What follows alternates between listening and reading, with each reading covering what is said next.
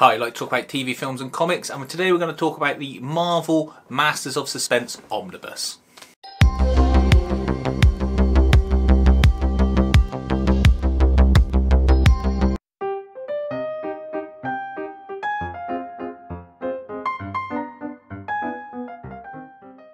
The Marvel Masters of Suspense Omnibus is a collection just shy of 700 pages long of sort of old-fashioned uh, Marvel comics. Uh, this is before Spider-Man and all the superheroes came to prevalence.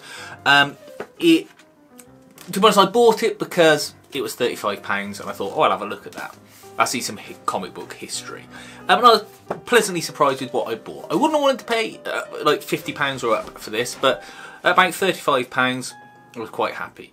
And what you get is a very well put together um, omnibus that it's got sewn binding so it reads absolutely flat. Um, it's got lovely print quality. The pages aren't the thickest uh, but they're certainly not cheap and flimsy.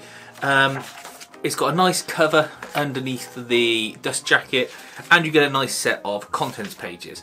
On omnibuses I am quite a sucker for contents pages. Uh, I think there's no reason to not include them, regardless of what the omnibus collects, because everyone likes to have a little contents page so they can flip through and see what they've got. Um, what you get with these stories is a collection of sort of weird and wonderful sci-fi horror adventure tales that have a three to four page length um, they have a setup line, usually at the start, going like Dave Smith was driving home from work one day when he saw something he will never forget. And then you straight into the story. Um, it's something really that I think a lot of filmmakers and uh, TV makers could uh, learn from today. That uh, you don't need all this unnecessary preamble, uh, just a little setup, boom, straight into the story. And you get this sort of very well written, um, sometimes predictable, um, story that either has a moral or a sci-fi or horror twist on the end of it, and it's wrapped up by the end. Uh, sometimes they go where you think they're going, sometimes they don't. Um, quite often they involve aliens. Um, quite often they seem to repeat themselves.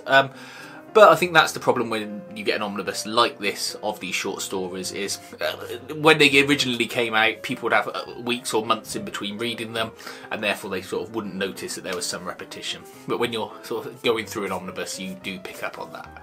Um, and that is why, if you're going to get this omnibus, it is best to read it in sections. So give it like 30 pages at a time, put it down, read something else, uh, then read it another day, 30 or 40 pages at a time. And then you don't get sort of um, exhausted from uh, the continual stories and some of the themes or artwork getting a little bit repetitive.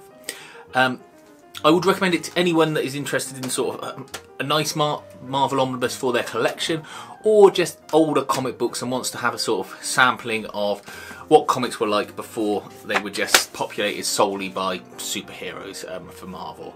Um, certainly a nice one to have in the collection. I don't know that I'll buy volume 2 to be honest. I think I've got enough in here. I also got the DC, just looking at it in front of me on the shelf, the DC House of Mystery um, volume 1 which sort of covers that off for me as well. The only thing I might be tempted to buy is either a Solomon Kane omnibus or the um, Marvel Horror Omnibus, but that's just way overpriced at the moment for what I'm looking for.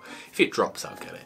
Um, let me know what you think about these massive suspense stories. Do you think they're totally outdated, um, not worth the time reading, or do you think they've got a place in a collection? I think they've got a place in a collection. I don't think they'll light everyone's sort of fire, but I think they're certainly worth reading and experiencing if you're a comics fan, and certainly if you're a collected edition collector.